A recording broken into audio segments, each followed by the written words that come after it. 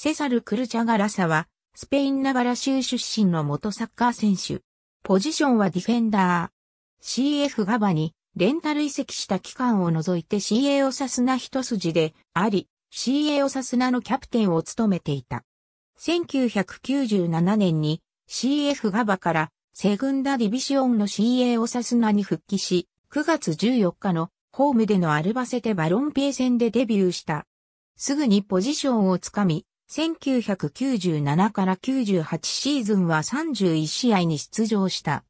1999から2000シーズンは UD ラスパルマスに次ぐ2位に入り、プリメーラディビシオン昇格を果たした。昇格を逃した4位の UD サラマンカとは勝ち点1差だった。プリメーラデビューは2000年9月のセルタデビー5戦で2000から01シーズンは36試合に出場して3得点した。2004から05シーズンまでは毎シーズン30試合以上に出場し、クラブのプリメラ定着を支えた。30歳を過ぎた頃から出場時間が減り、2005から06シーズンは20試合、2006から07シーズンは18試合の出場だった。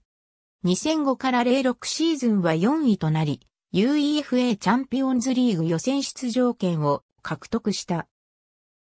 2006から07シーズンには UEFA カップで準決勝に進出したが、同じスペインのセビージャ FC に敗れた。ファーストレグでは惜しいヘディングシュートを放った。UEFA カップでは12試合に出場し、そのうち11試合はフル出場だった。